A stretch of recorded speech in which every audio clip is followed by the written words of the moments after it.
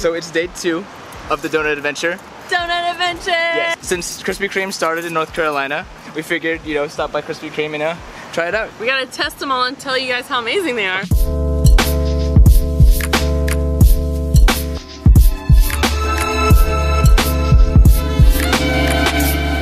Turtles. There we go, little turtles. Little turtle shell. Oh, that slip right there.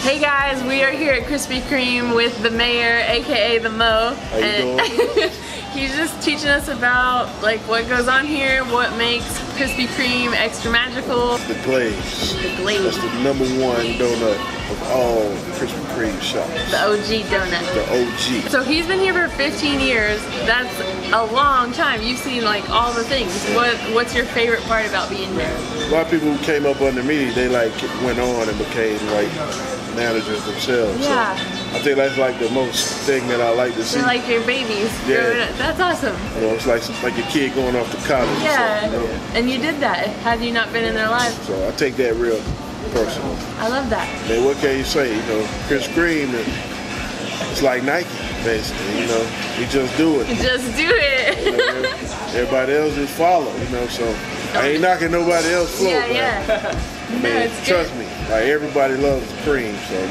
This is the OG right yeah, there. it's, Oh yeah, OG, yeah. you know, once that light come on, you know, you'll see a lot of accidents right out here on Sharon Avenue. They, So everybody, all the passersby know they know. it's hot.